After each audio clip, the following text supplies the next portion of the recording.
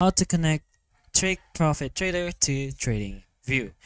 So we have a step-by-step uh, method over here. So the first thing is to get your TPT and broker set up.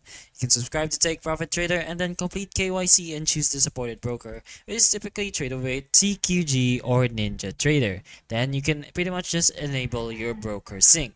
Log into your Tradovate or other account, then subscribe to TradingView integration features. So it's about $10 a month for Tradovate sync. Then there you can pretty much link in TradingView. Uh, open ahead to TradingView and open the trading panel at the bottom of your chart. You can then select the broker account, uh, which is Tradovate connected via TPT. Log in when prompted to complete the authentication, and then you can finally authorize execution permissions. Ensure TradingView is permitted to send orders to your broker via API connection and confirm permissions like order types, margin access, and data flow.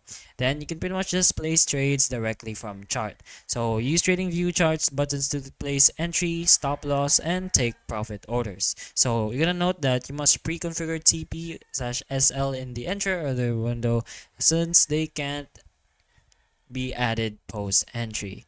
Then you can just test execution flows. So place a small entry order and confirm it opens through your broker. Then there you can pretty much just verify stop loss and take profit orders that are placed simultaneously and visible in your broker terminal. So that's pretty much how you connect your, your take profit trader in TradingView. So if this video can help you, please like and subscribe for more videos like this. And that's all.